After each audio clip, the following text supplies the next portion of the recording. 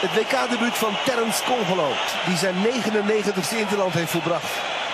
Sanchez. Ingreep Congolo. Isla. Corner weggegeven Congolo.